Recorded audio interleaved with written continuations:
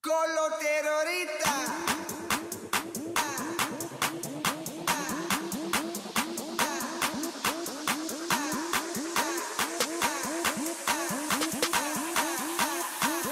You can do the Harlem Shake.